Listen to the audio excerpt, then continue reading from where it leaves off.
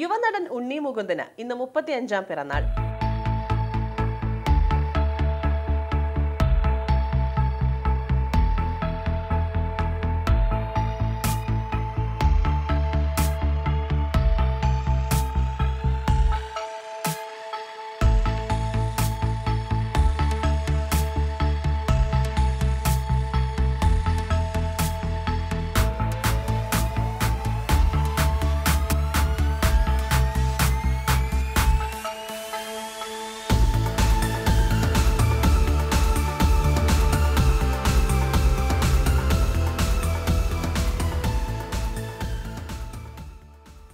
ആയിരത്തി തൊള്ളായിരത്തി എൺപത്തി ഏഴ് സെപ്റ്റംബർ ഇരുപത്തിരണ്ടിന് മുകുന്ദൻ നായരുടെയും റോജി മുകുന്ദന്റെയും മകനായി തൃശൂരിലാണ് ഉണ്ണികൃഷ്ണൻ മുകുന്ദൻ എന്ന ഉണ്ണി മുകുന്ദന്റെ ജനനം.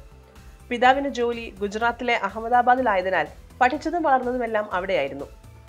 രണ്ടായിരത്തി പതിനൊന്നിൽ മലയാളം സിനിമയായ നന്ദനത്തിന്റെ തമിഴ് റീമേക്കായ സീതൻ എന്ന ചിത്രത്തിലൂടെയാണ് ഉണ്ണി മുകുന്ദൻ സിനിമയുടെ വെള്ളി വെളിച്ചത്തിലേക്ക് കാലെടുത്ത് വയ്ക്കുന്നത്.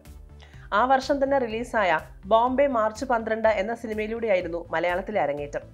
ഈ ചിത്രത്തിലെ അഭിനയത്തിന് മികച്ച പുതുമുഖ താരത്തിനുള്ള നിരവധി അവാർഡുകളാണ് ഉണ്ണിക്ക് ലഭിച്ചത്. തുടർന്ന് ബാങ്കോക്ക് സമ്മർ തത്സമയം ഒരു പെൺകുട്ടി എന്നീ ചിത്രങ്ങളിൽ നായകനായി അഭിനയിച്ച ഉണ്ണി മുകുന്ദൻ രണ്ടായിരത്തി പന്ത്രണ്ടിൽ റിലീസായ മല്ലു സിംഗ് എന്ന സിനിമയോടെ നവകാല മലയാള സിനിമയുടെ അവിഭാജ്യ ഘടകമായി മാറി. മല്ലു സിംഗിന്റെ വലിയ വിജയത്തോടെ മലയാളി പ്രേക്ഷകരുടെ ഹൃദയങ്ങളിലാണ് ഉണ്ണി മുകുന്ദൻ സ്ഥാനം നേടിയെടുത്തത്. രണ്ടായിരത്തി പതിനാലിൽ ലാൽ ജോസ് സംവിധാനം ചെയ്ത വിക്രമാദിത്യൻ എന്ന സിനിമയിൽ ദുൽഖറിനൊപ്പം നായകനായി വേഷമിട്ടു. വിക്രമാദിത്യനിലെ ഉണ്ണിയുടെ അഭിനയം പ്രേക്ഷകരുടെ അഭിനന്ദനങ്ങൾക്ക് വഴിവെച്ചതിലുപരി നിരൂപക പ്രശംസയും ഏറെ നേടി. രണ്ടായിരത്തി പതിനേഴിൽ റിലീസായ മാസ്റ്റർ പീസ് എന്ന സിനിമയിലെ വില്ലൻ വേഷമായ എ സി പി ജോൺ ടെക്കൻ ഐ പി എസിലൂടെ തനിക്ക് വന്നു ചേർന്ന ഇമേജുകളെയും ഹീറോ പരിവേഷത്തെയും ഒക്കെ മറികടക്കാൻ ഉണ്ണി മുകുന്ദന് സാധിച്ചു. ആ വർഷം തന്നെ ക്ലിൻഡ് എന്ന സിനിമയിൽ ക്ലിൻഡിന്റെ അച്ഛൻ വേഷം ചെയ്ത് ഉണ്ണി മുകുന്ദൻ അത് ഉറപ്പിക്കുകയും ചെയ്തു. ഈ കഥാപാത്രത്തെ അവതരിപ്പിച്ചതിന് മികച്ച നടനുള്ള രാമു അവാർഡും ഉണ്ണിക്ക് ലഭിച്ചു. ജനതാ ഗാരേജ് എന്ന ചിത്രത്തിലെ വില്ലൻ വേഷത്തിലൂടെ തെലുങ്ക് സിനിമാ ലോകത്തും ഉണ്ണി മുകുന്ദൻ ശ്രദ്ധിക്കപ്പെട്ടു തുടങ്ങി. രണ്ടായിരത്തി പതിനെട്ടിൽ റിലീസായ ഭാഗ്മതി എന്ന സിനിമയിൽ അനുഷ്ക ഷെട്ടിയുടെ നായകനായാണ് ഉണ്ണി അഭിനയിച്ചത്. മേപ്പടിയാൻ എന്ന സിനിമയിലൂടെ ഉണ്ണി മുകുന്ദൻ തന്റെ പ്രേക്ഷക പിന്തുണയും സിനിമയോടുള്ള അഭിനിവേശവും വർദ്ധിപ്പിച്ച വർഷമായിരുന്നു രണ്ടായിരത്തി ഇരുപത്തിയൊന്ന്. നിരവധി പുരസ്കാരങ്ങളാണ് മേപ്പടിയാനും നിർമ്മാതാവ് കൂടിയായ ഉണ്ണി മുകുന്ദനും ലഭിച്ചത്. വിഖ്യാതമായ ബംഗളൂരു അന്താരാഷ്ട്ര ഫിലിം ഫെസ്റ്റിവലിൽ വരെ എത്തിച്ചേർന്നു ആ സിനിമ.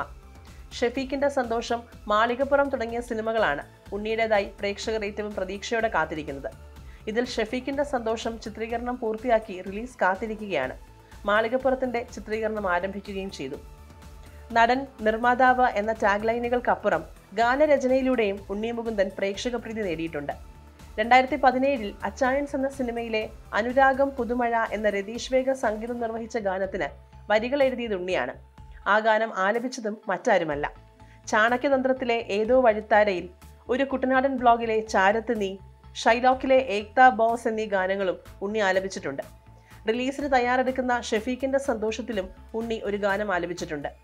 സിനിമകൾ കൂടാതെ ഏറെ വൈറലാവുകയും നിരവധി പുരസ്കാരങ്ങൾ നേടുകയും ചെയ്ത എന്റെ നാരായണിക്ക് എന്ന ഷോർട്ട് ഫിലിമിൽ ശബ്ദം കൊണ്ട് സാന്നിധ്യമാവുകയും അതിലൊരു മനോഹരമായ മെലഡി ഗാനം ആലപിക്കുകയും ചെയ്തിട്ടുണ്ട് ഉണ്ണി മുകുന്ദൻ.